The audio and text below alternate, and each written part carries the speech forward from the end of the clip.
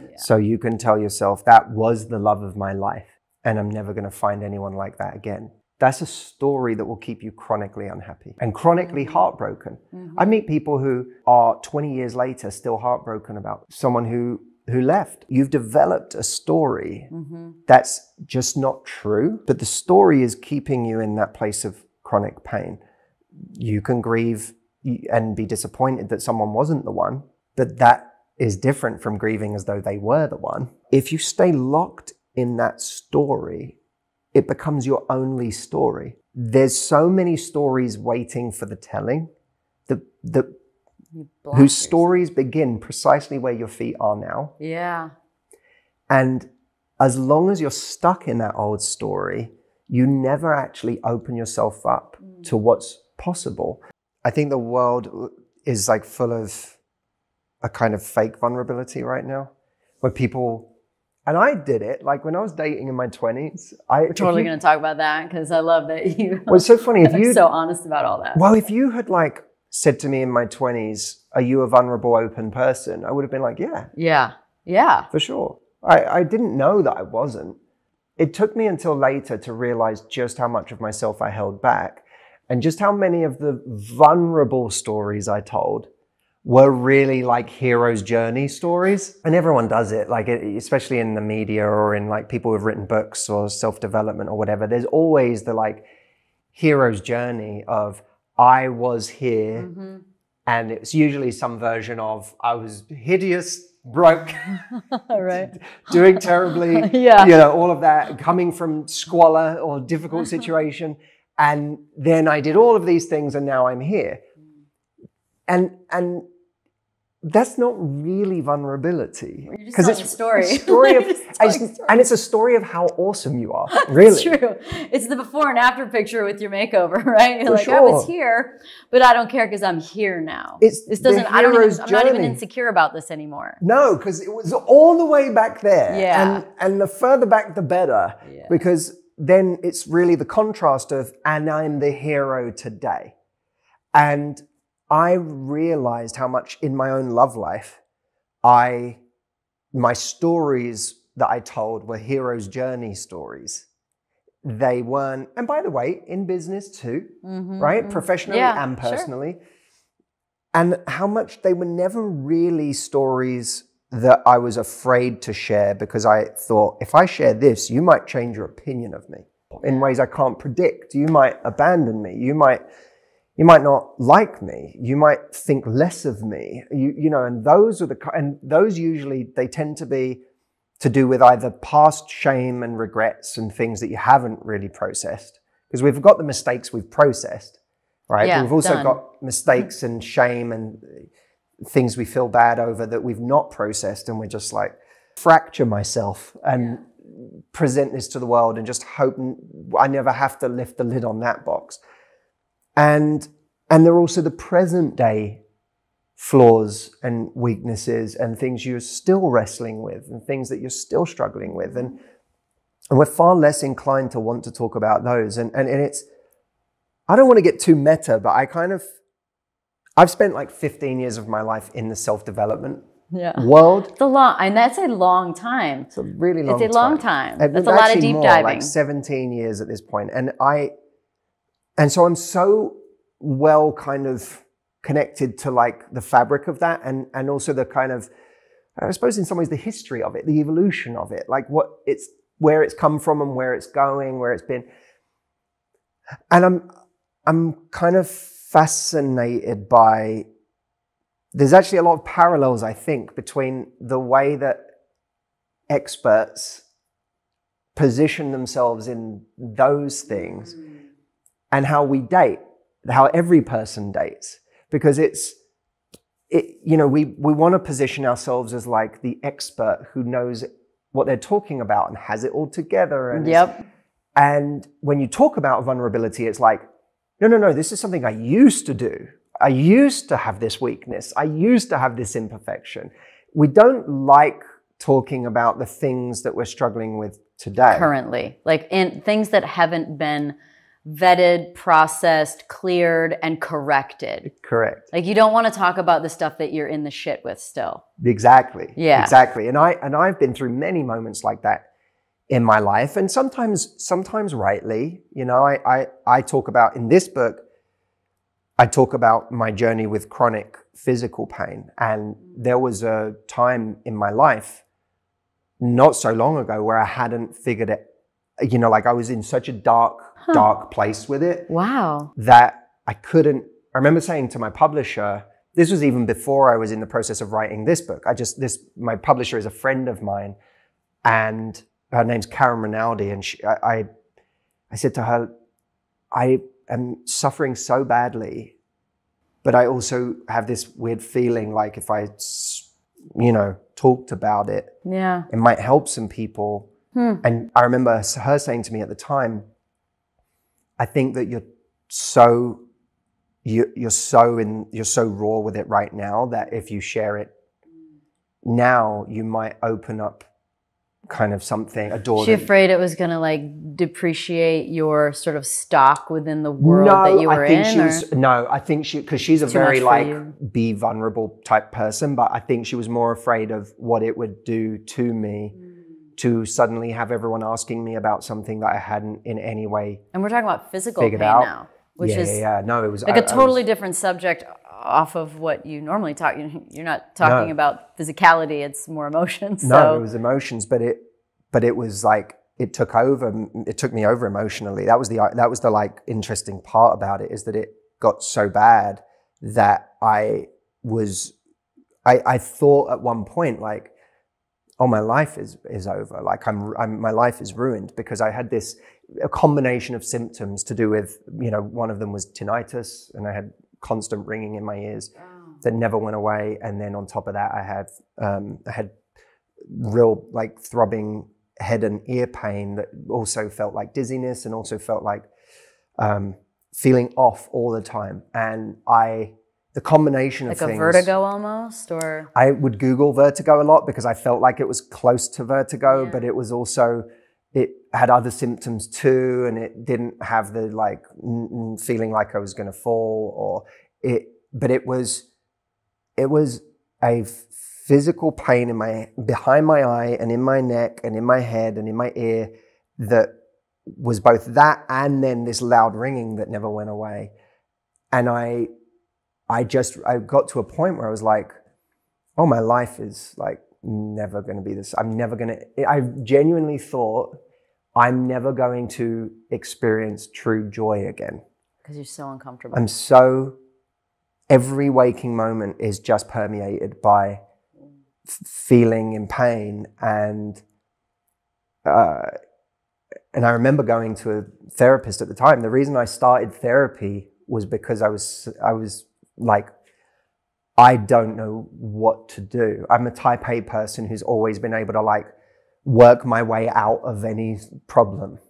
And and I did everything. I mean, every treatment, every place you could go to to try something, be experimental, do this, do the traditional route, do the non-traditional route. I did everything and nothing shifted it.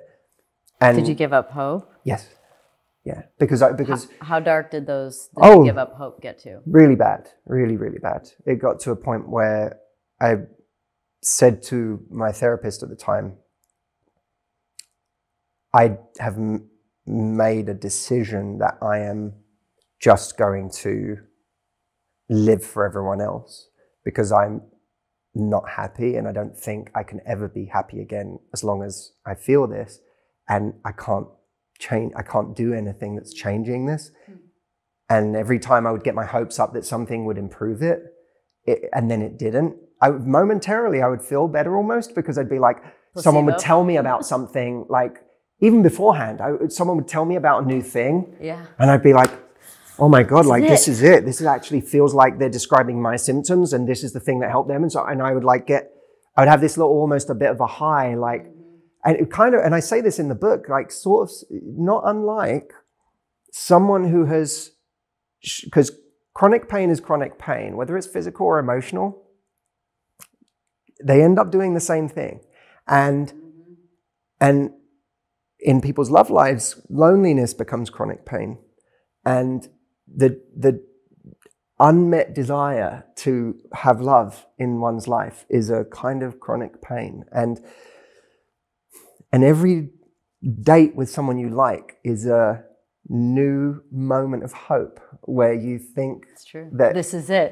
this is it and it gives you this momentary elation and and you could talk to your friends and you want to share it because you're like oh my god this feels like i might be getting off this ride that i've been on that i am not enjoying or you know finally i'm going to find love and it's the thing i've wanted my whole life and i haven't found it and i'm, I'm finally this has the hope the promise of it and it's why it's so tremendously disappointing and so can be so tremendously heartbreaking when something doesn't work out, even if it's something that, you know, we, we sometimes shame ourselves because we get heartbroken over a person that was in our lives for a month. But it Right. was never about that person. It was about this feeling that I'm, I might have found this thing that I've been looking for. I might have found a relief to this pain, to this, and to this situation. And, and I would, I would feel that, and then the, I would do a treatment, I would do something, and it didn't work, and I would crash, and I would crash hard. And I said to this therapist, you know, after trying so many things, I was like, I'm just going to live for other people because I'm I'm never going to be happy again so long as I have this, and this doesn't seem like it's going anywhere. It's important to me that the supplements I take are the highest quality. And that's why for two years, I've been drinking AG1. Unlike many supplement brands, AG1 is researched and developed by an in house team of scientists, doctors, and nutritionalists with decades of experience in their respective fields. So many people have asked me if AG1 is actually the real deal. And trust me, there's a reason why I've been drinking it every morning for so long. Quality for AG1 isn't just a buzzword. It's a commitment backed by expert leading scientific research, high quality ingredients, industry leading manufacturing, and rigorous testing. At each step of the process, AG1 goes above and beyond industry standards. I know I can trust what's in every single scoop of AG1 because of this meticulous process they go through. Taking care of my health shouldn't be complicated, and AG1 simplifies this by covering my nutritional bases and setting myself up for success in just 60 seconds. AG1's ingredients are heavily researched for efficacy and quality. And I love that every scoop also includes prebiotics, probiotics, and digestive enzymes for gut health. I've partnered with AG1 for so long because they make such high quality products that I genuinely look forward to drinking every single morning, first thing in the morning. So if you want to replace your multivitamin and more, Start with AG1. Try AG1 and get a free one year supply of vitamin D plus K2 and five free AG1 travel packs with your first subscription at drinkag1.com slash pretty intense. That's drinkag1.com slash pretty intense. Check it out. Bear in mind, I hadn't been, I hadn't had it for months at this point. I was like three years in, four years in, and five years in. You start to go, like I'm, I'm throwing resources at this, and nothing's making a difference. And um, and he looked at me and he said, "That is hallmark depression. What you're experiencing right now." He said, "It's for you. It's circumstantial." because it has its origins in original in, in physical pain but it's a distinction without a difference at a certain point right because you're still depression is depression when you're there it is whatever its origin is it's there and and so one of the big this is like a we've ended up coming a, an interesting way into all of this but this is one of the big messages of this book for me and uh, anyone who wants to find love, like I think this is going to be one of the best resources in the world for people who want to find love. And I really believe that. And I'm so excited for anyone who wants to find love to read this from the perspective of being able to get that in their lives and create that. But it's also a, a book that's going to surprise people in a lot of ways because they're going to find that there, there's some very, very deep things that it's going to help people on because what I realized with my chronic pain is that I had the chronic pain, I had the I had the pain, the sensations, which were not good, and but then I had my relationship with the sensations. And the thing that was causing me a, an amount of pain that was intolerable was my relationship with these sensations, not the sensations themselves. The hmm. sensations themselves really, really sucked. Mm-hmm. But, and there was no getting around that. Mm-hmm. But what would happen is this cascade. Anytime I would feel the pain, which was all the time, you know, I'd wake up, I'd feel it, and it would send me into story mode. Sure, sure. Now you're bringing the emotional pain into it too. So now you have physical and emotional pain, and you spiraled. So That's exactly right, which is exactly what happens in a heartbreak. right. The, the, Oh yeah. there's the, you know, if you think of heartbreak, it's a sensation in the body. We feel it. But what makes that sensation 10 times worse is all of the story stories. that we oh, attach Oh, oh, to yeah. that sensation. I mean, like I remember listening. It was something that you said after a breakup many years ago that was really hard for me, and it was, and it was like one of the most helpful things. It was some, you said something along the lines of that the apology will never match the pain that you're at, right? Because the experience was so bad because you had built it up, you wanted this thing, and nobody can say I'm sorry or give you a reason that will like validate or or or eliminate the amount of pain you have. Nothing will reach it. The pain is mm-hmm. so much higher because of the whole story around it. There's mm. so much more to it than just the thing that happened. There's the dream dying. There's like essentially death that needs to happen.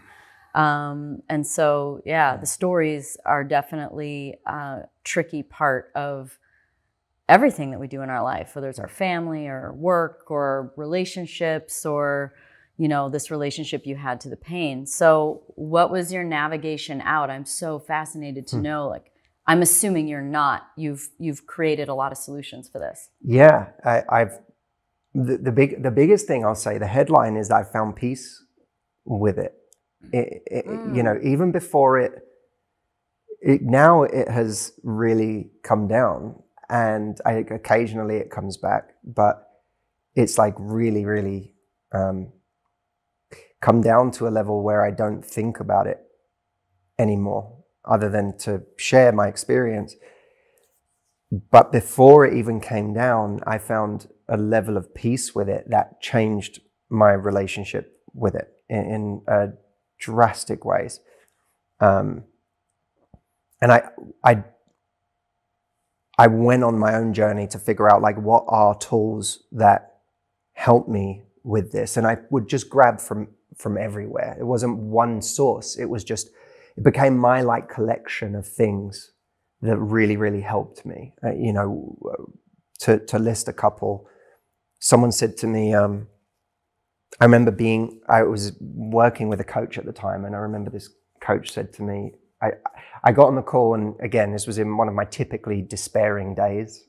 And I, one of the things I was lamenting on this particular day was the fact that, like, certain, well, basically alcohol all triggered all of my symptoms in a much worse way. So, and then certain many of the food. Oh, I went to a doctor, and he said to me, "I need you to cut out sugar, salt, Joy, joy, spicy foods, joy. and caffeine." Oh, the best joy. Which was, by the way, if you're like, uh, the, the, that's the one. Like caffeine is one of those things that's like when you've given up everything else, you're like, at least I still have coffee. exactly. Anytime I've come into the health realm, because look, I can relate to you on a lot of levels of I've been on my own health journey that kind of lasted about a total of five years, but like really hardcore for a couple of years. And the one thing that I was like, I just don't care. I'm gonna drink the coffee. Like, Just give me have something. Something like I, I like something that because I at least a, just a Uh-huh. just a nod to my more hedonistic days. Something like a cup of coffee can't be the thing that you're taking away from me. Is like a flat white in the morning. You can't even have that anymore. And so when this doctor told me I had to get rid of all these things, I was like, I like I had I had one doctor prescribe me antidepressants, and I had one doctor tell me you can't have any of these things anymore. Salt, spicy food. I'm a foodie. I love food. Oh, and, uh, me and when he told me I can't have any of these things, I was like, well, I might actually need the antidepressants now. Cause like this is, what else do I have left? I thought that was bad. It's going to get a lot Yeah. worse. yeah. Like whatever small joys I have are just being taken away. And I remember being on a call with this coach and saying, I can't even like, like I can't have anything. I can't have a sip of wine with dinner. I can't have, and she goes, look, we don't know how this is going to be a year from now. Mhm.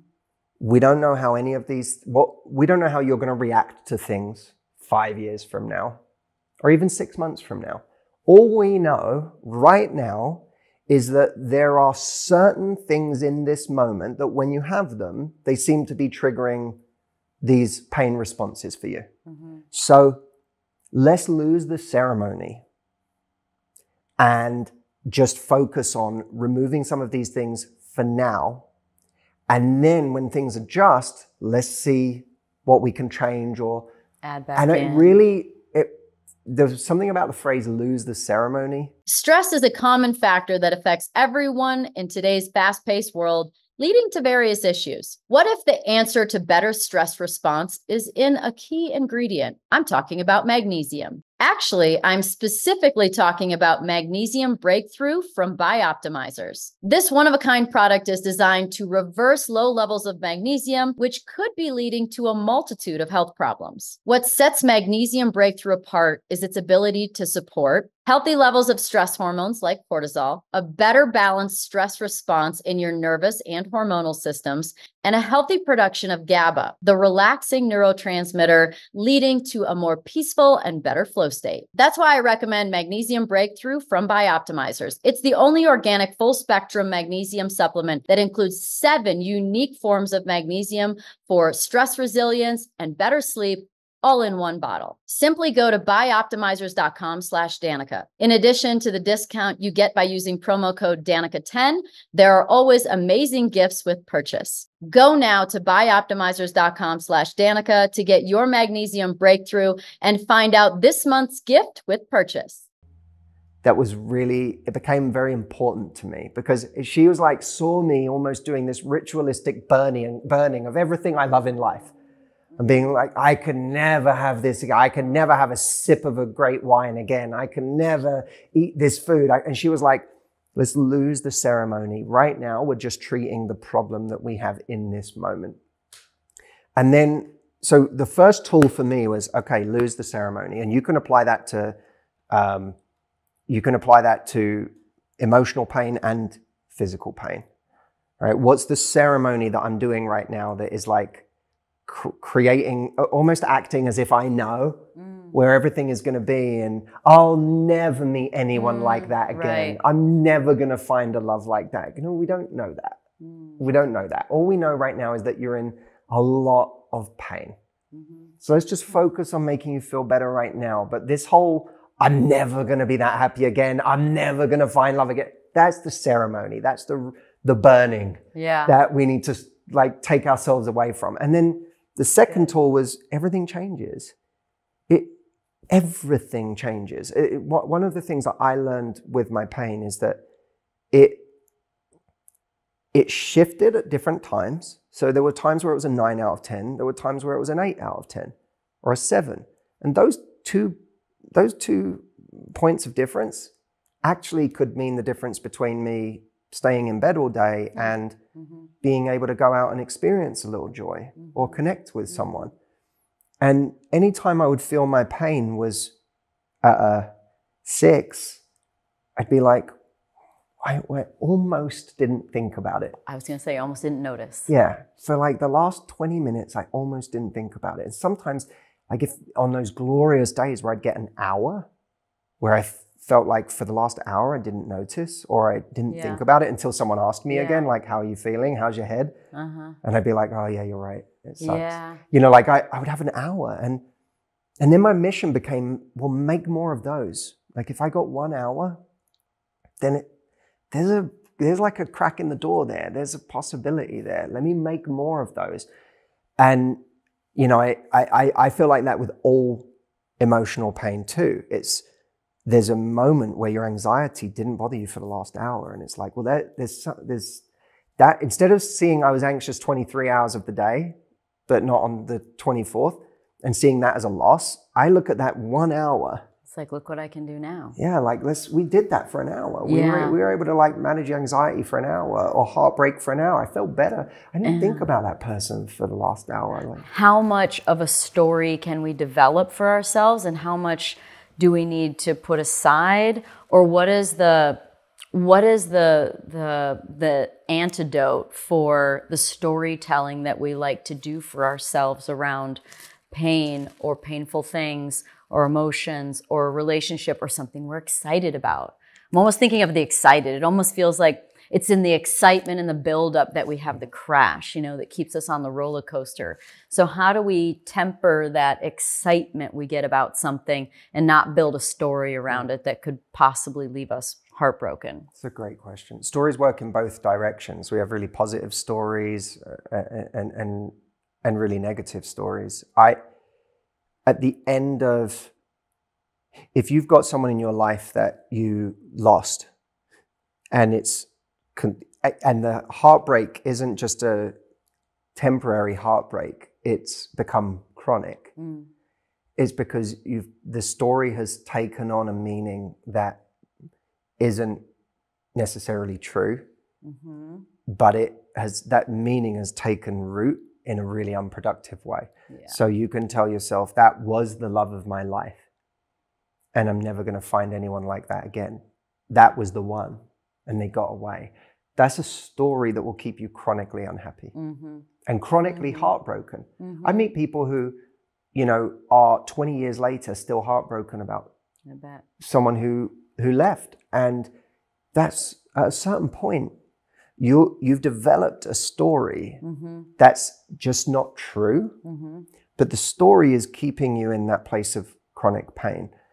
You can grieve and be disappointed that someone wasn't the one, but that is different from grieving as though they were the one. That's a very different thing. So it's not to say you shouldn't grieve. Gr- You know, my friend David Kessler said grief is a change. He's a former, one of the foremost experts in the world on grief, and he said grief is a change you didn't want. Yeah, exactly. Every time. it when you feel that you can grieve that the future you thought would happen or the present that you thought you'd be in isn't the one you're in but if you stay locked in that story it becomes your only story mm-hmm. and and that's a tremendous shame because there's so many stories waiting for the telling the the whose yourself. stories begin precisely where your feet are now. Yeah. And as long as you're stuck in that old story, you never actually open yourself up Mm. to what's possible. Mhm. There are people that grieve the, you know, the parent they never had or the relationship with their parent that ended or something that's, you know, deeply, deeply painful. It feels like almost an existential loss that I look around and other people have had this and I've never had that or I lost it or Mhm. And and that's okay to grieve that because there was something you needed that you didn't get and it's and it's okay to grieve that. It's necessary in fact. But at a certain point your grief robs you of the other stories that are available. Yeah. What are the 1000 other ways Yeah. that will present themselves to you in your life that you could actually have a corrective relationship with another person, a parent figure, whether it's a mother figure or a father figure. Right. There are so many of them available to you. Life is a buffet of these corrective experiences, Mm-hmm. and you're missing them. You're missing them because you're locked into this idea that this story is the one story of your life, and it's not. And the more you start adapting and changing the possibilities ahead of you, the more you start to r- kind of reclaim and invite in all these other realities that are still waiting for you. And I, I find that just, for me, that's like wildly exciting. Liberating. And, Oh my God. there's so much on the horizon. It's like what anything's possible at that point in time. So is it is it in the grief that we actually build the story or is it in the excitement of something that we generate the story? And then when the grief happens when the ending happens then all of a sudden the crash comes. Meaning you see the do you understand the like i'm trying to ask is it actually in the devastation of something where all of a sudden we develop this story? Or was it because we developed one in the first place Hmm. that was unhealthy or unreasonable?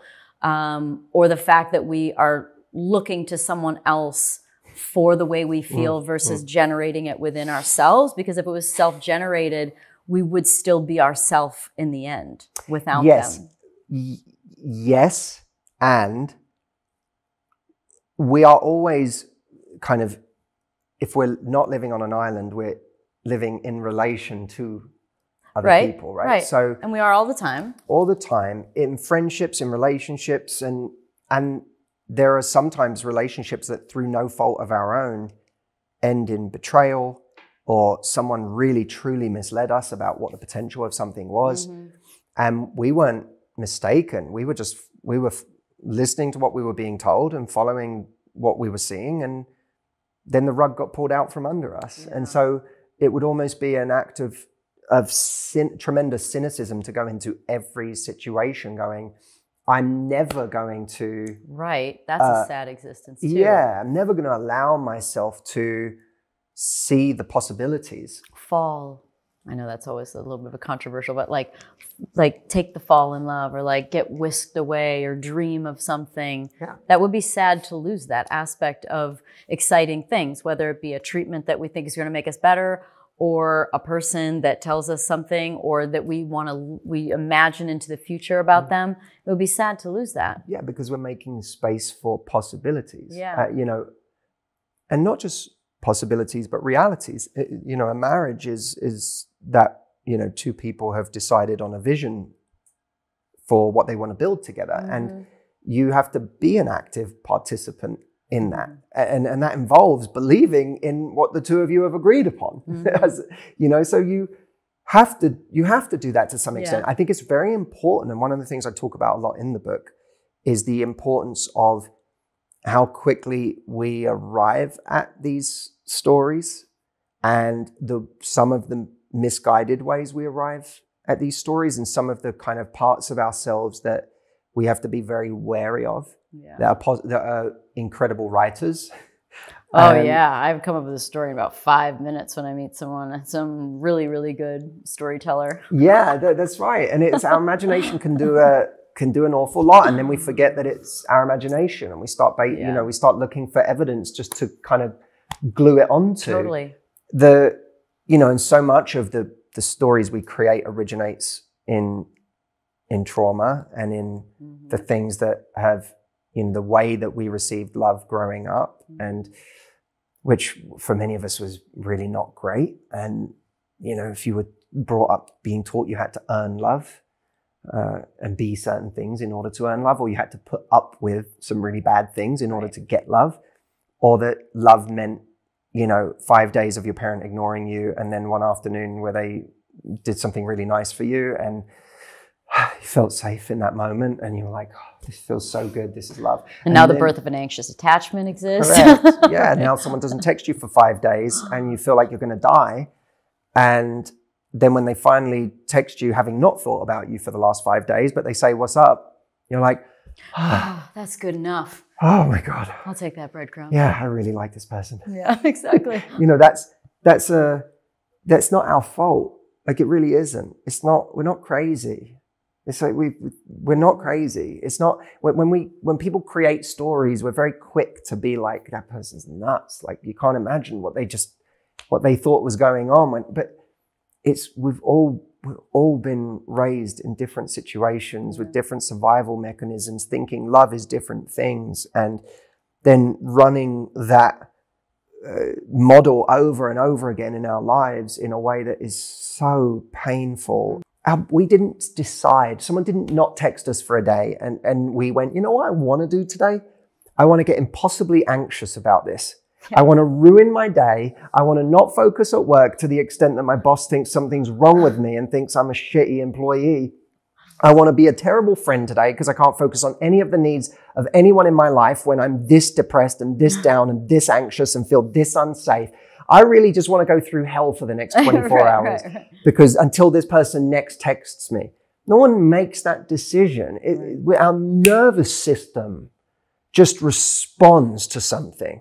And we may not know why. We may have never done that excavation into our past and why we are the way we are. But, but at the very least, know that that was not a choice and that, that deserves compassion. Mm, you were programmed that way. Yeah, your, your, your body was being programmed that way at a time where you weren't choosing your programming. Correct. And so it, it deserves ultimate compassion Yeah. and and oh there's something going on with me and then of course what happens is the stories so many stories originate out of that place of wanting someone to be right Yeah. something feels familiar so even if it feels like hell it in a weird way it's it's it's out it's what's known to us and we gravitate to what's known and Yep. and so that we create a lot of story around those situations. This person is just, they're the most incredible person. They're, I've never felt like this before. That must make them really, really important. And, and then, of course, when that person disappears, how heartbroken we feel has nothing to do with how important that person really is.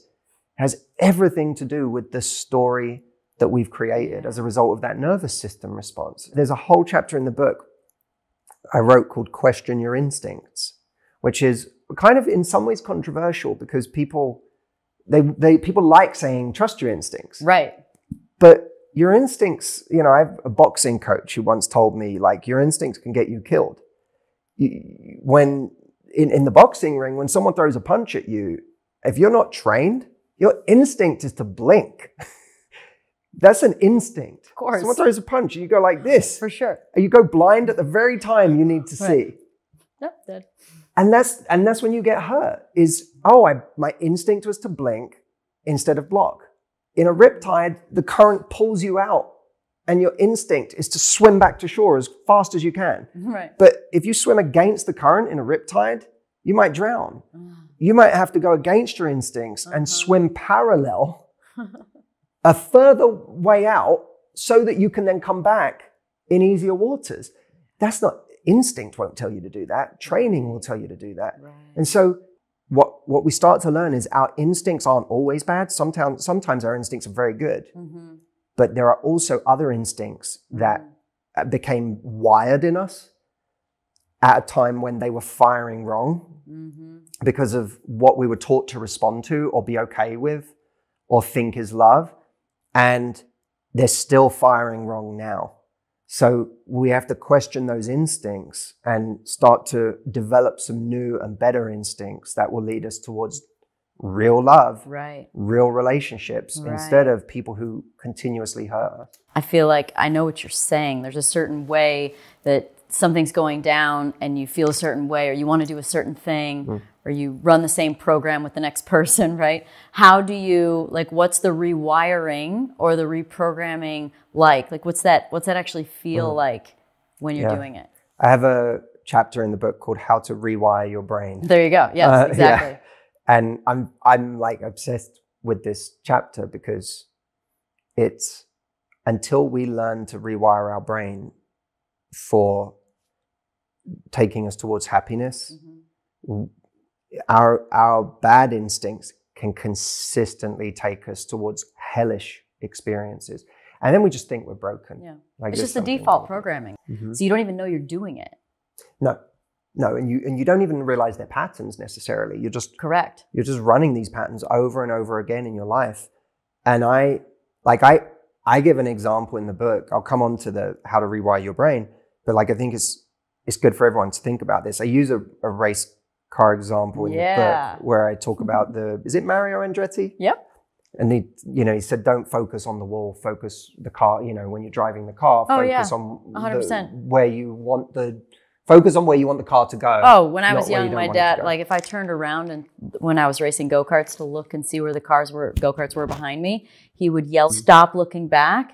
And the same thing. I mean, I thought of that all the way into racing IndyCar and NASCAR, if I would look in my mirrors too much and someone was right behind me, I would focus. I'd be like, I give myself three laps and I'm not going to look in my mirror.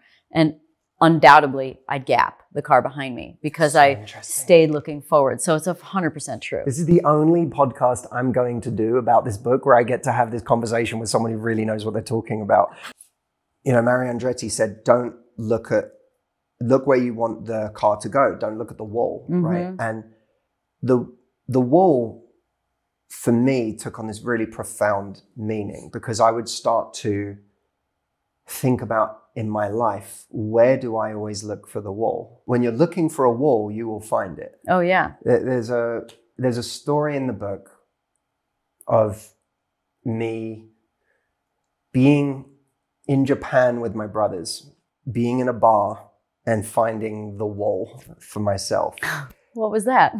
I I grew up in in in different ways. I grew up w- with a lot of feelings of a lack of safety, Hmm.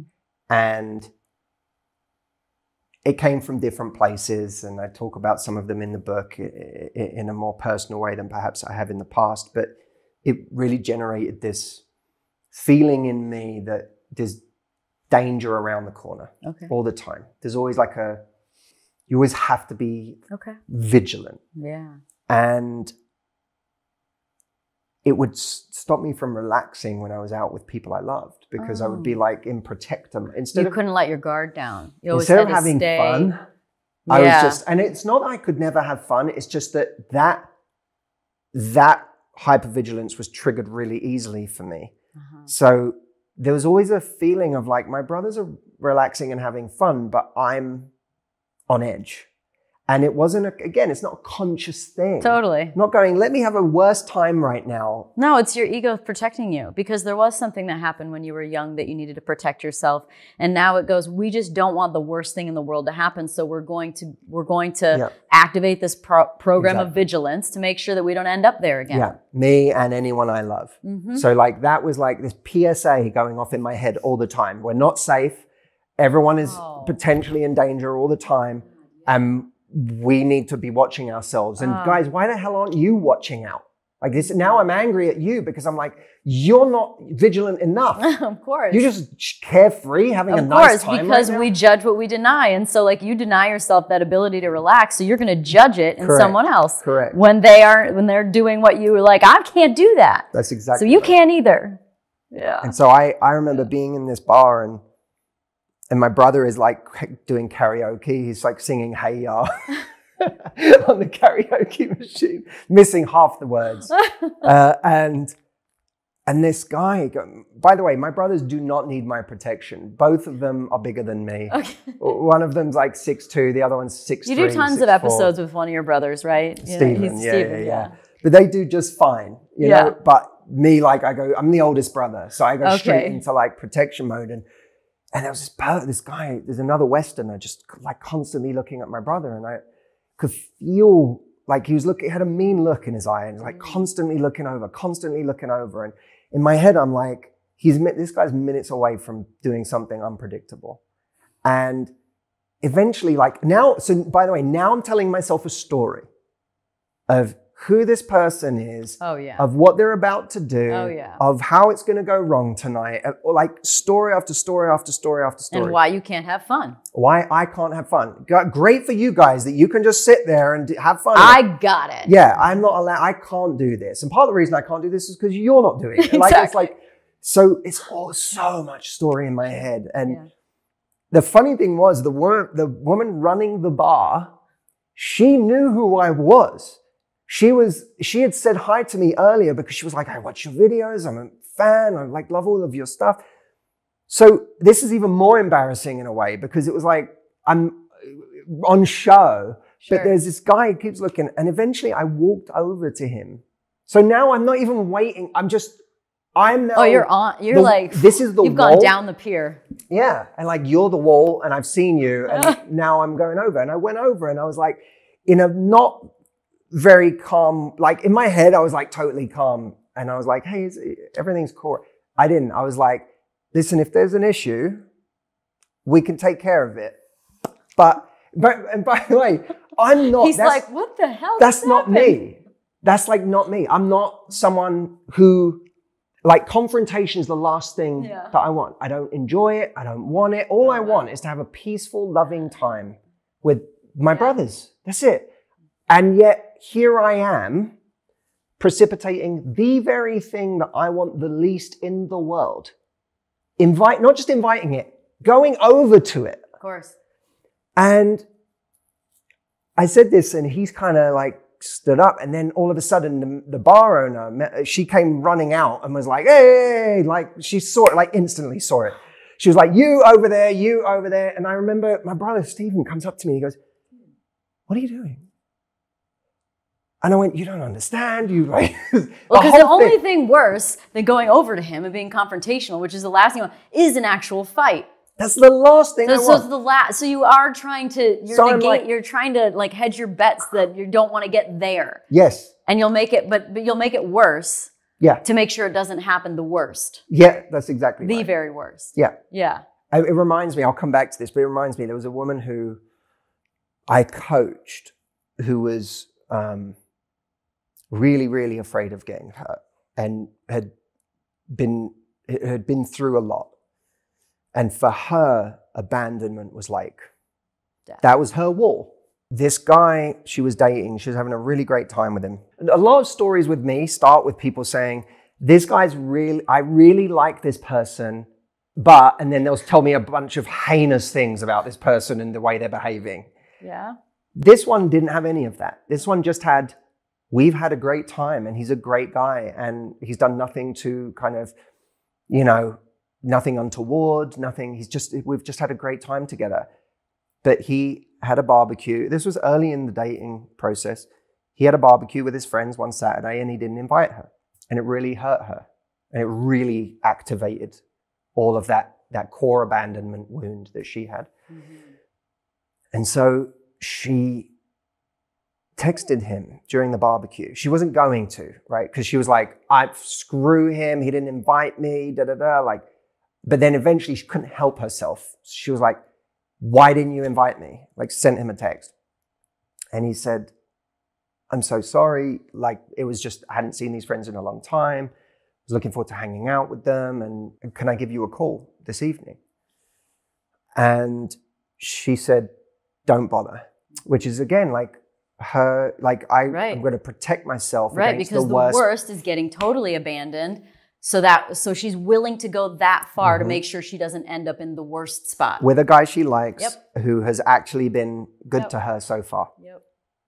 And by the way, whose response to her saying, Why didn't you invite me? was not in any way dismissive, was when I get free, let me call you. Yeah. And We all do this in some way in our life. All of us have our thing. All of us have our thing. So she said, Don't bother. And then every day that he then didn't call her, she said, See, I was right. Exactly. When she told him not to call. Yep. it and by the way he's also within his rights to feel like in early in the dating process oof i might give this a wide berth because i'm you know if he's coming from a healthy place Mhm. and what he's seeing is an un, is an unhealthy behavior he could be forgiven for saying i don't know if i want to sign up for this you know I- it might not be She's almost she's almost creating the story that she's made up in her head. And that's a danger too of like the story that we have, we a good or a bad one, we can go find evidence of it. I've absolutely been guilty of looking for evidence of a fear or suspicion or an exciting thing Yeah. I'm hoping for. and th- and this is like I well, what I say in that part is you like I did in that bar you if you're not careful you won't you won't see your experience as your reality in this moment or your perceived reality you'll just think that's people Mm. You have to be very careful of allowing your wall to become your world, where you now no longer differentiate between the two. Mhm. And it's just like, oh, like in my case, the world is inherently unsafe Mm. everywhere all the time. And that's something I had to realize about myself and go, because I, I would I would think to myself, why don't my brothers just come back having gotten into trouble every time they go out when they just are not looking they're like Are they not so- paying attention? not paying like I see trouble every time we go out. Yeah. How do they? Never how do they get come home trouble? alive Yeah, at the end of the evening So then, how'd you fix this? Like, how did how did you actually get to the point where you could now have a much more rational relationship I- with safety? i'm And what did that feel like? for me curiosity is a is a magical word Okay. because belief is a very strong word and it carries a lot of weight and it's very hard it's a very heavy weight to move. Hmm if you just tried to take on a new belief that i am safe. Hmm Mm. Just like it's not we're not we're not really built to just like adopt a new belief out of nowhere when we've been carrying this old belief Sure. for so long well, that reprogramming could take a very long time to because you don't believe it, right? you don't believe it and it, you know just telling someone believe something different is a recipe for, for inadequacy Mm. because you feel like i must be doing it wrong because everyone Yeah. just says believe and i can't just believe Right. I, everything in my body is telling me this is true, this is true, this is true. As a coach, I've never found it very productive to just try to get someone to believe something different. But curiosity is like a gateway drug to a new belief because it all curiosity requires is a little humility. And the humility is is everyone having the same experience I am? Mm. And if the Mm. answer is no, then you go, well, what's Hmm. going on there? I don't know what it is.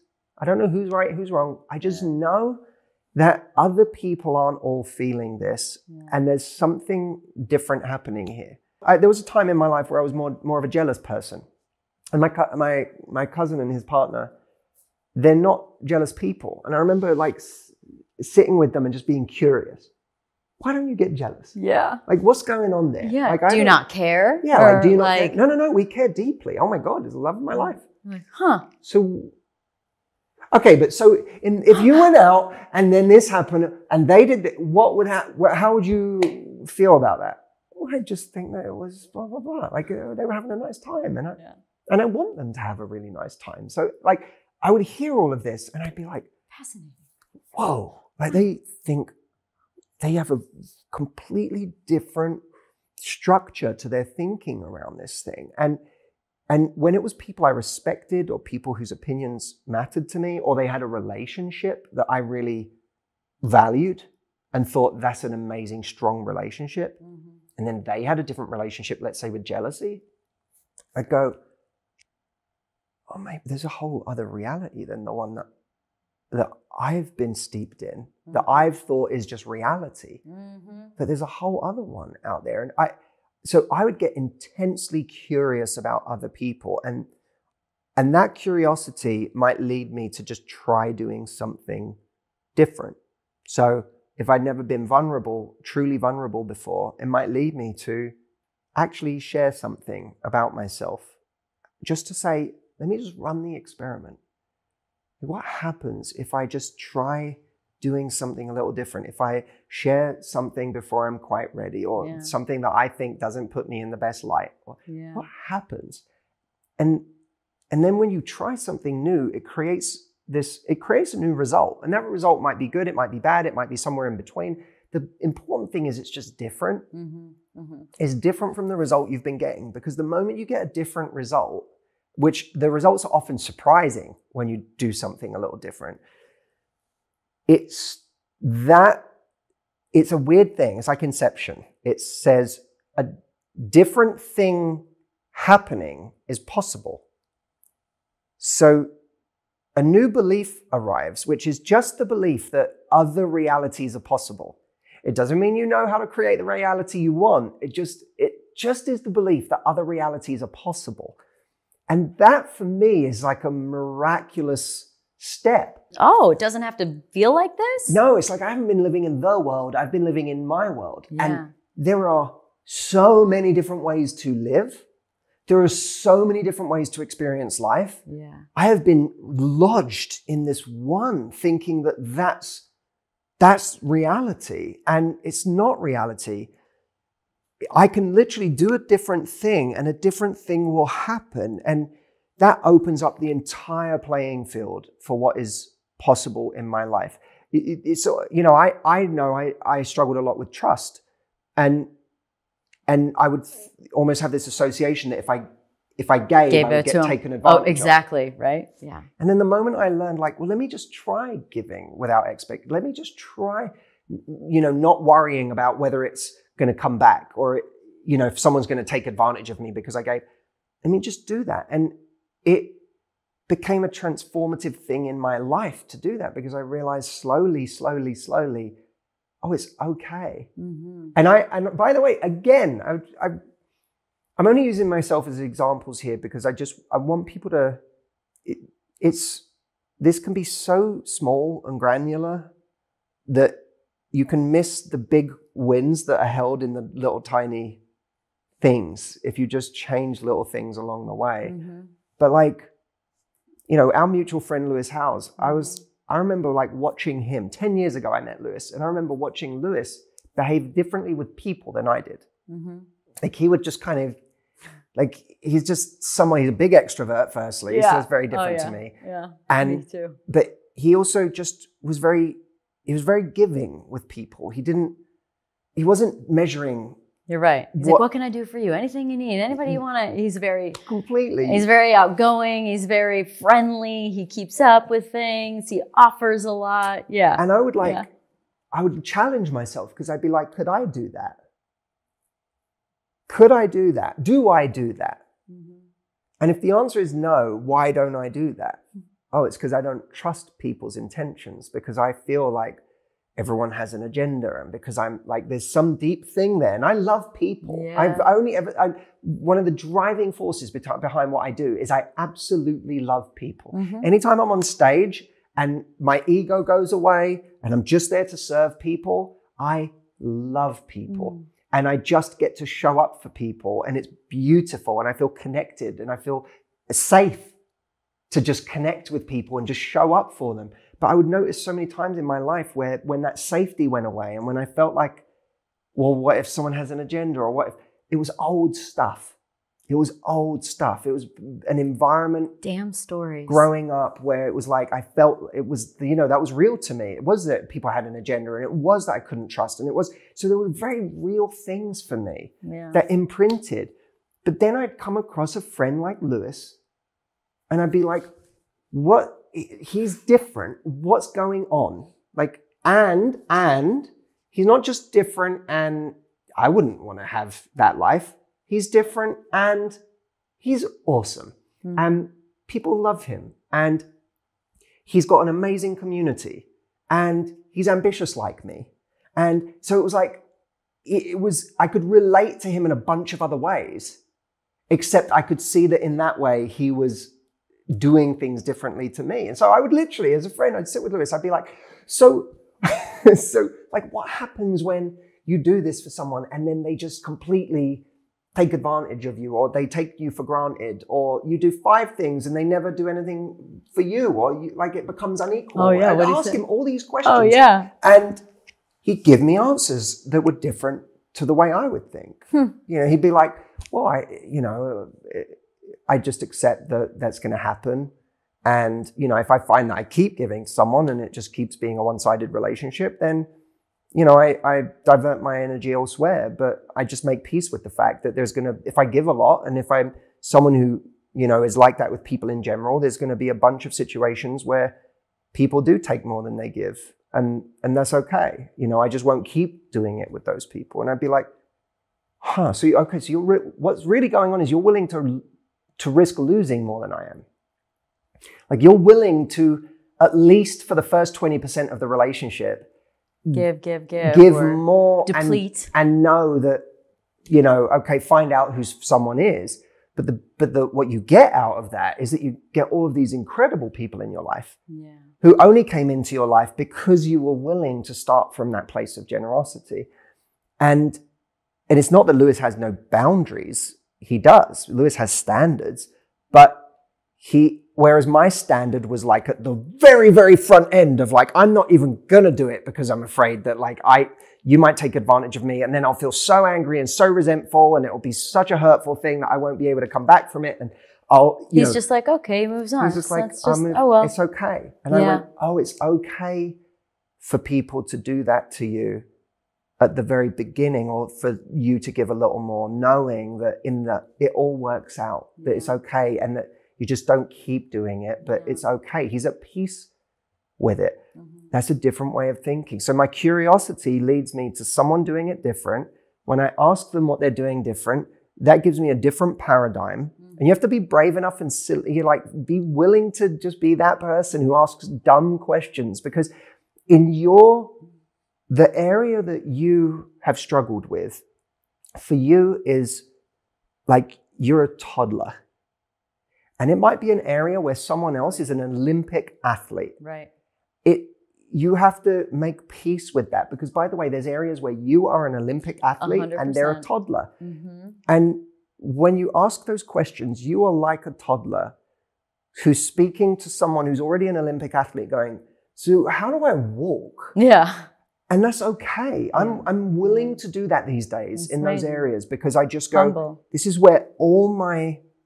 This is where all the good stuff is going to come Mm. from. And in, in the last, if I look at the last five years of my life, all of the good stuff is in me being willing to just admit, okay, I'm a toddler here. It's not my fault that I'm a toddler here. There have been things, experiences in my life or my past or my upbringing that have made this really, really difficult for me. This has not come naturally to me. And if it was easy to change, I would have done it years ago. So it must be very difficult to change for me. Mm-hmm. And that means I deserve an enormous amount of self compassion over this Right. Mm. but it but it but it doesn't mean my past equals my future in this area Right. it just means i need to start by learning how to walk and when you start getting some little wins from taking those baby steps it becomes really addictive because you just start going oh my Just god keeps getting there's better. a whole yeah. world out there that i haven't experienced because of this way that i have been Yeah. for so long and it has nothing to do with me it's not personal it's just Mm. the way that I've been for so long. I get goosebumps as I say it because I'm like, it's okay. It's not your fault that you're like that. You know, I'm, I'm all for ra- I'm But all it for is like your a- responsibility. yeah, I'm for extreme ownership. I am. Yep. Yep. But it, it, the two concepts are not at odds. Yeah. So then, you know, the big question for you. So I love how at the beginning of the book, as I started reading a little bit of it, and you sent me, uh, you you really go into like your dating life and how Yeah. you were in relationships and how you acted. And the first chapter is called "Karma's a Bitch." So wh- what what was it that what sort of um how were you in those in that in in the place of relationships which is your area of expertise versus where you got to that now you're happily married so what changed within you that you became a match to someone who was really right for you the crazy thing about this book is I wrote this book single okay that's and fascinating then I finished the book married, which is really crazy. Really, Oh, I think the last edit of the book I did on our honeymoon. That's nuts. Well, then how could, okay, so was Karma's a bitch and talking about your dating life always going to be the beginning, or did that sort of emerge as a It- necessary link to the stories that would be shared? I wanted my intention starting this book because it had been 10 years since my last book. Mhm. So I knew people may have had preconceived notions of who I am or what I'm like. And I had read a lot of comments from people saying, like, "Oh, this would be great guy to date. Like, he knows about relationships. He's got to be the perfect guy in a relationship if he knows this much. And it would make Of me very insecure because I would be like, oh my God, I knew, I knew I was far from that. And I Ah. knew that I had regrets in that area. I Mm. knew that I had hurt people in that area. I knew that I had done, you know, I the, the things that people would come to me complaining about. I had done my share of those things. So I was never coming from a place of wanting to like be righteous about Yeah. like what men should be like. And Mhm. because I was like, no, no, no, I'm not. I'm not perfect, and I didn't. I didn't want anyone to think. I, Oh, was. I was never like, got that impression from you that you were sort of the be all end all of like how to do everything. You've always been humble. because I'd never spoken much about my own dating life. It allowed people to kind of like map onto me Okay. whatever Yeah. they wanted to, and Yeah. so for me, I was like, let me just start this book by Sure. remove whatever pedestal anyone could possibly have put me So on. Let me vulnerable of take you. myself off of that pedestal right now. Was that a big decision, or did you feel? Yeah, it was that- scary. I, was- I would think it's so. still a bit scary. As I'm reading it, I'm like, oh, okay. I'm like, all right, okay. Because you know, you you would think that I would. I can imagine the insecurity because you feel like you should be great at dating. Great at dating, And do a good always job the and best don't do the bad possible boy stuff person. and- Yeah, always stand up and and um, you know, I, I can't claim to have been that. And I'm I'm more proud of myself today than I've ever been. Like I really am. I feel really uh, aligned and you know, I have a lot of compassion for why I was the way I was. And, and don't get me wrong, it wasn't like heinous, but it it just I look back on it and I'm like, wow, that was a very different version of me that was coming to the table. And, you know, I think for me, I, you know, I, I was in a cycle of mm, constantly dating and trying, you know, trying to get selfishly trying to get my needs met or trying to have an experience or trying to just feel good, like trying to not feel lonely Mm. trying to not feel like because for me being on my own was really scary and being just having a long gap where i was just like i'm just going to be by myself which was probably exactly what i needed i wasn't giving that to myself it was like it was easier to pick up the phone and call someone Mhm. and be like hey let's you know do something this weekend instead of like me try and make it through the weekend just as a person not experiencing just experiencing my own thoughts which was at the time something i wasn't good at dealing with and still wrestling with too much. And i i met my wife audrey and you very quickly realized like there was a a kindness to this person and a warmth and a love to this person. But at the same time was she was never going to like put up with me not being there and not being present Huh. and not being consistent and i it was a it was a really interesting thing for me because i had to i think for a while i was me and my wife talk about this all the time this idea of chasing the wrong things Sure. that you just chase the wrong things and you think they're going to make you happy but they don't and then you know you're left feeling anxious and weird and miserable and empty and it's a really hard cycle to get off of because again you have your nervous system has been trained to go for Mhm. that thing and to Mhm. expect that kind of volatility or that kind of chaos or those highs and those lows and just peacefulness was not something that my nervous system was ever trained for. Mhm. And when my wife Audrey came along, she represented peace. And I didn't know how to handle peace. I'm wondering if you changed before she came along, or you just actually you just finally met a- the right one. There was a bit of and along the way you just we stumble right Uh-huh. and we we we, we want to make something more than what it really should be and then as time goes and then you finally meet the right person you go i get now how it's actually Mm. supposed to be I give a lot of credit to Audrey. Aw. Um, you know, I, I wish for every person that they find someone who is simpler than I was in those moments where Audrey met me, because I wasn't I wasn't the simplest. But I don't think that you, you you can't you can't be with a person like that unless it ends up being a blend of both. You you can be an incredible Yeah. influence on Yeah. someone, but if someone's coming to you and they're not starting to they're not ready for those kinds of realizations, you it, it is a fool's errand to try to change them.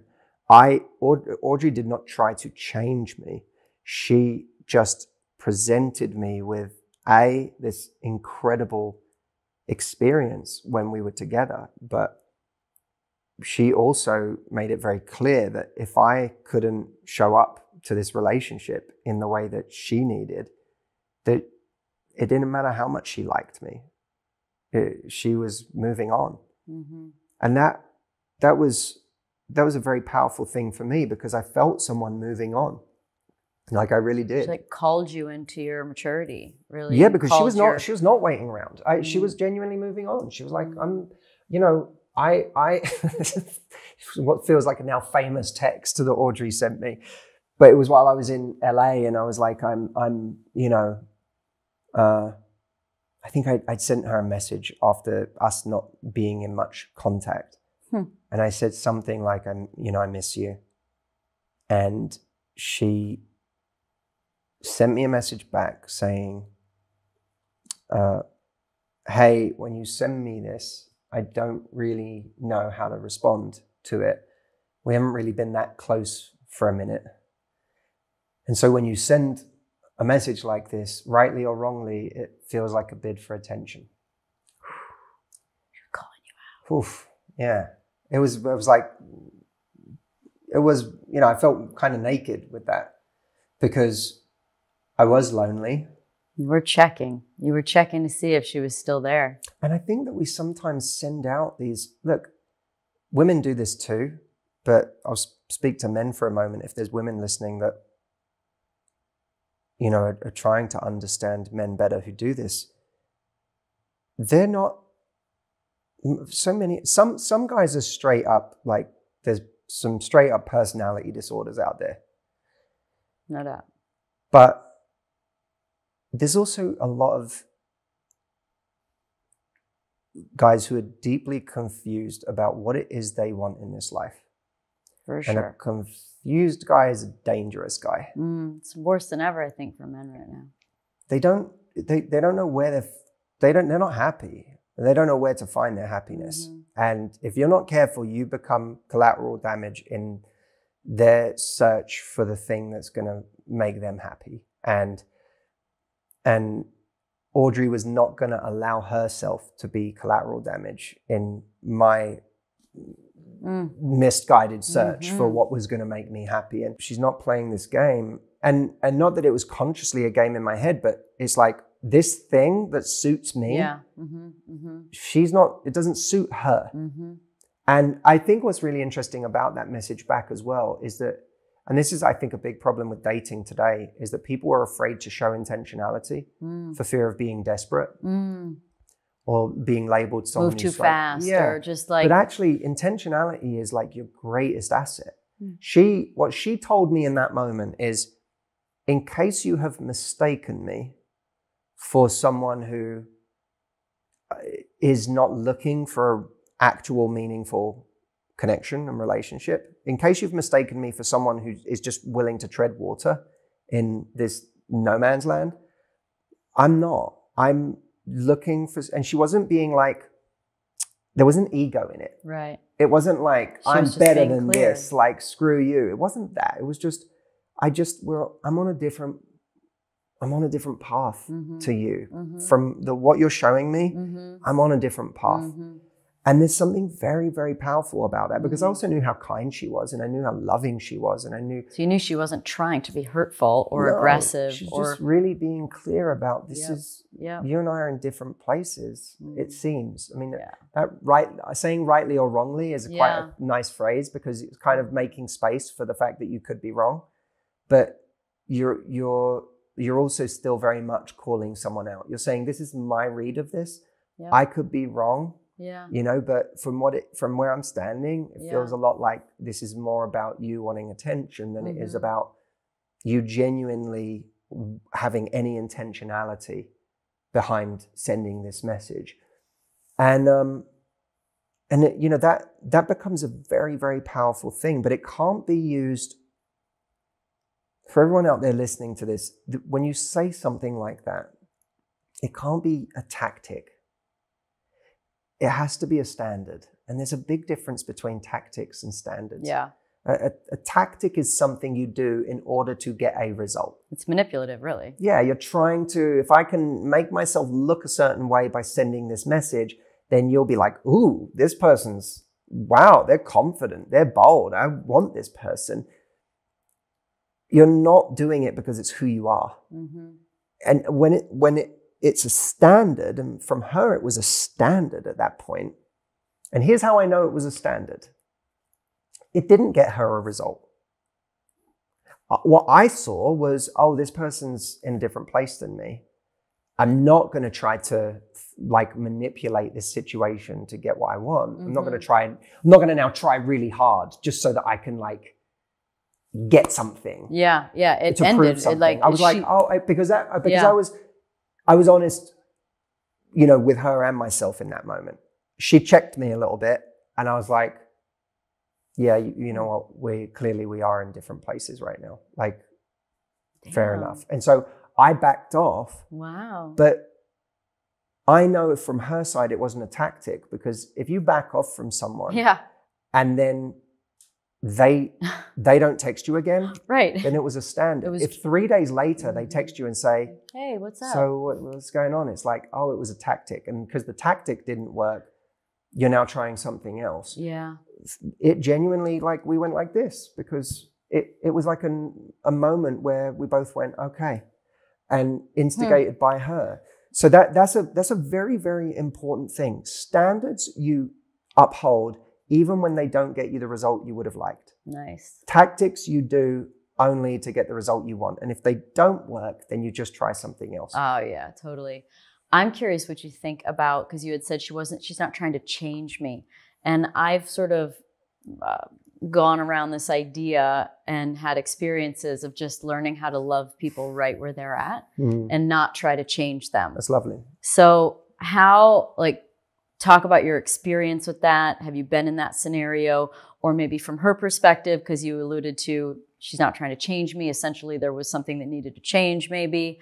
Like, how can we do that? How much of loving someone right where they're at when they might have an unhealthy habit, when they might, you know, do act a certain way, um, you know, have a pattern that you don't like?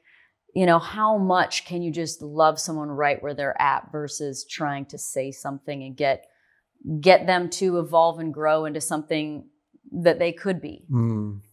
I think we always, to some extent, have to look at what we're getting right now and say, is this enough for me? If, if this stayed this way, mm-hmm. could I be happy? And you have to be really honest with yourself about that because anything else is. not like stayed like this and then this one thing but like this Yeah, like if it stayed like this, could I be could I be happy? And if the answer is no, that doesn't mean that you have to cut and run immediately. mm-hmm. It means that you have to communicate what you need to communicate in order to see whether there can be progress. And and then you have to be very very honest with yourself about whether there is progress. The mistake people make is I you know we all change we all evolve and let's let's be real relationships get sculpted in real time.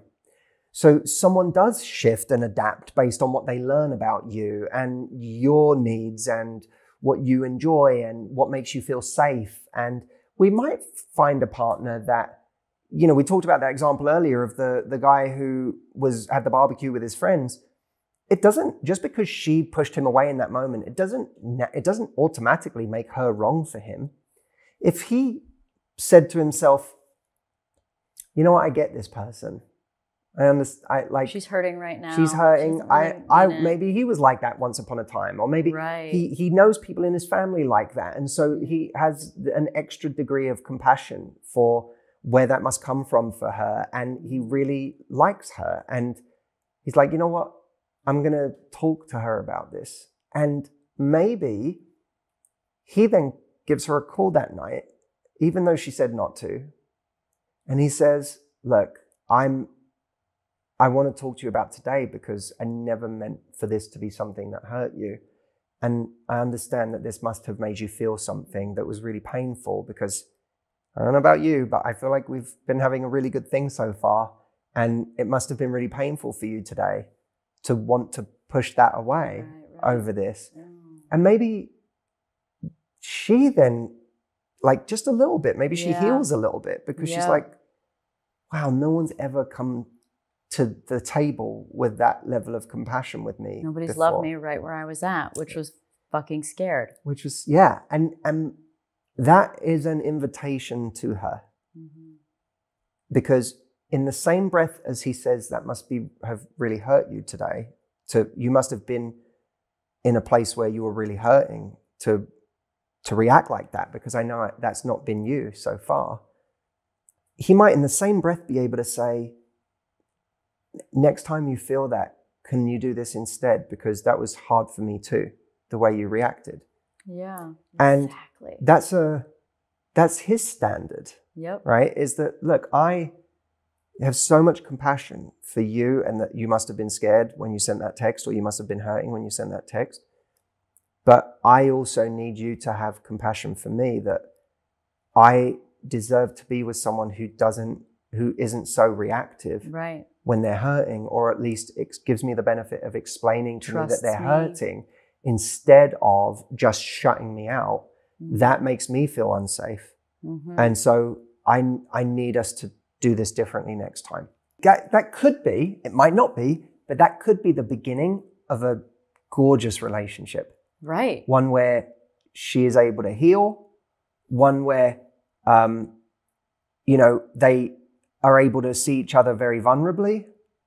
And it might even be a moment where Right. They can he heals a little bit Yeah. because he says maybe he had a, a a mother who the moment she felt like scared she was going to get hurt shut him out or was Yeah. very avoidant Yeah. and maybe by having that honest conversation with her instead of just not calling her for the next 4 days and bringing her to the table maybe she starts to do something different.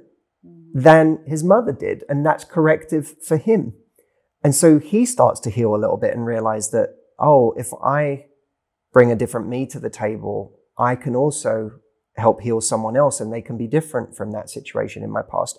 So there's something very, very beautiful about that. Both of those things, it's an invitation for, to, for two people to be their higher selves and to progress together. But you can be that invitation to somebody else.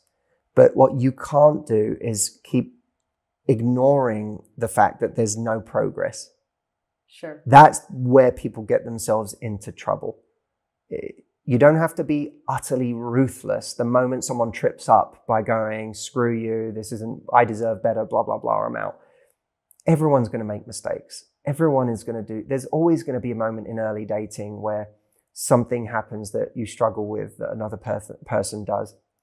Do you heal together in those moments? Is there progress after you communicate honestly? And maybe your version of that like 1% shift away from your reality, your wall, Right. is that you communicate differently than you have done when you see something you don't like. Mm. Because relationships are more about just running away when you see something you don't like. Mm.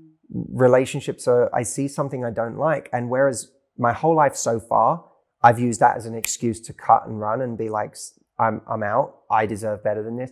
Maybe this time you have a very honest and compassionate conversation around that thing.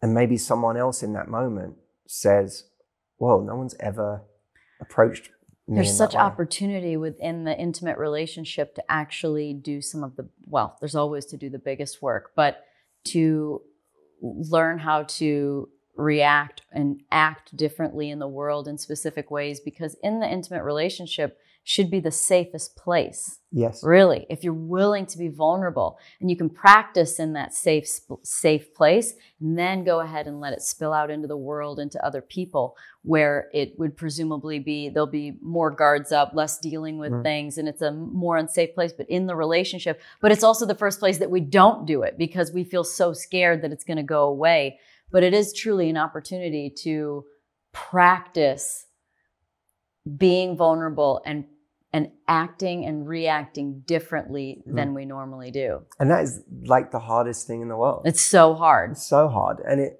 and, and that's what makes it so like great. That's what makes Mm. it so awesome is that you you are doing a difficult thing. Acknowledge it. You're doing a difficult thing. So how did you know when you wanted to propose to Audrey? When I knew that I'd found like this incredible person to build with. Like I, I had the moment where I, I called a friend of mine and I was like, he asked me why, how, what, why are you proposing now? Because I told him before I, you know, I was like, I think I'm, I'm going to propose. And he said, why? And I said, well, I just feel like I'm ready to build.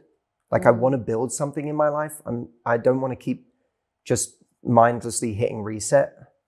I want to actually build something because it was clear to me that what my, in my career, what had made my career so great is that I was actually willing to commit. I didn't do a hundred different things. I like went deep and I just kept going with Yeah. something, and Worked that's really hard. keeps blossoming because in new ways because I keep approaching it with life and energy and passion. And you know, I I couldn't have predicted 17 years ago that when I started working with people in their love lives that you know in 2024 I'm now releasing a book called Love Life. I, I would have told you 17 years ago, I would have been like, there's no way I'm still doing that 17 years from now. Really? Like, no way. I like, oh, this will transition into something, something else. else, whatever. This is just sort of like a phase I'm having. It's yeah. it's like, hitting. it's People right love now. it. I have something to say. We're having fun with it. That's exactly and then it'll be something else. It'll be something no. else. But it's, you know, 17 years later, I am just as passionate. Yeah. And, and, and if you read my first book, there's, it doesn't have quite, I mean, it doesn't have nearly the same depth of the things I'm talking mm. about in this book. The first book was more about strategy. And this is about like the deeper reasons why we struggle and helping people understand those. And I'm so, I'm so, so, so excited about this because I'm bringing a new me to it Yeah. but I'm but it's part of a 17 year commitment to my work and that's what's made it so special and I realized that in my love life I wasn't doing that and so I said I'm ready to build something and I could not imagine a better builder than Audrey like I, I mm. can't I don't I just she's an unbelievable builder and the way she sees me like she truly sees me she sees me for all of the stuff that I thought would drive someone away. And and she still she accepts it and she loves me for it. She loves me holistically. And that for me was like it was like a, the ultimate feeling of of safety. And and here's the here's the part I want to say because I think this is so important. Life works different ways for different people. I was really, really lucky that at a time where I was trying, hungry to find more compassion for myself, I found someone who had more compassion for me than I was giving to myself. Mm. And it made me, it, the, the love and the acceptance and the compassion that she gave me for my darker side, it was like an external corrective relationship that modeled the internal corrective relationship that I needed to to give to myself and the ways that I needed to make space for those parts of me, things I was ashamed of, things I felt guilty for, things that made, I thought made me not enough, things that I thought if I stopped doing them, I wouldn't be lovable anymore. It it became it's not that by doing all of that, she made me feel safe. It's that she made she modeled the kind of compassion that I could give to myself. And that you were working on giving to yourself. Yeah. so you opened the door to seeing her for who she was because you were starting to do that for yourself. There was a moment where I thought, God, this is she has made space for every part of me. I better make space for every part of her. Like that is this is the greatest gift anyone has given me. I've I've I've treasured it. I did not take it for granted. I was like, it woke me up because I was like, oh my God, this is this is really, really, really special. And I just I remember thinking to myself, I I better give her the same level of acceptance. This is too expensive to play with. This is too rare for me to take for granted. But but the you know one of the great gifts it has given me is is that it modeled the kind of compassion I can show myself. And we don't have to get that from a partner. You know, we can get that from a friend. We can get it from a parent. We can get it from a therapist. We can get it, you know, there's all sorts of ways that we can find these relationships that aren't just, you know, there's corrective relationships for, you know, what a parent can be or what a best friend can be or what a partner can be. But there's also, I believe, corrective relationships for what our own relationship with ourselves can be. 100%. And, and, and when someone is able to view you holistically and contextualize who you are through the lens of where you came from and where you've been and um, how hard it's been for you to fix certain things or work on certain things, it, it offers you an opportunity to view yourself through a different lens. And, and importantly, that's not an excuse to continue with destructive behaviors. You, you know, the in narcissistic relationships, viewing someone holistically gets weaponized against you. Mm-hmm. You have to be very careful in those Mhm. relationships. But that's where the that's where the word progress is so important. You, while it may be the most beautiful gift in the world, you can give someone else to see them in that way. You owe it to yourself to only put yourself around people who make you feel safe Yeah. and who meet your needs at the same time as you're meeting theirs. In a narcissistic dynamic, with a, in a narcissistic relationship, some, your capacity to view someone contextually and holistically and say, well, they're only doing that because when they were growing up, they went through this and they never got this love or they were abused or they were, but, but the result of all of that empathy from your side is that they're still doing it to you today Exactly. and they continue to do it. Standard. That is a recipe for uh, uh, an endless fall. oh, And, and so you, I, I think I always think it's important to point that out. To me, what makes the most special kind of love, and I think this is one of the giant messages of this book, is you. It is on us to provide a kind of love that is beautiful for somebody else. That's what makes us mhm. someone that another person wants to be around. for sure. But if you aren't marrying that with a strong set of standards for yourself, Yeah. then you will give that kind of love far too cheaply. Mm. And it will wreak havoc in your life because there are no shortage of people who are willing to take that kind of love and sure. and not give you the same in return. It makes you a target if you don't marry that kind of love with strong standards for yourself. And those standards originate from giving the exact same kind of love that you would give someone to someone else to yourself. Exactly. It's always a mirror. Always a mirror. Wow. Cool. Congrats on such like a journey. And you know, 17 years later, you're not in the same place. You're in a totally different Yeah. place. And this is an area of hu- human existence that will always be there is relationships. We all want to find love. And it's in, it's critical to our existence is relationships. Um, so keep doing it. I hope you I hope 17 years later, there's more books of more evolution and that you can take people on the journey. Thanks, Danica. It's been fun. I know we've known each other for a minute now, so it's it's, it's going to be fun to keep watching each other's journeys Yeah. as we progress Yeah. through all of this. And for for anyone who wants to get this book, it's there's a website I have called lovelifebook.com. And not only can you pre-order the book there through Amazon or Barnes and Noble or wherever you want to get your book, um, we have some really cool additions for anyone who's buying a book. There's some really cool bonuses that aren't available anywhere else. We have a live event we're doing for all of the book buyers that, that your ticket to the event is your book and it's virtual, so you can do Oh, it from anywhere in the world.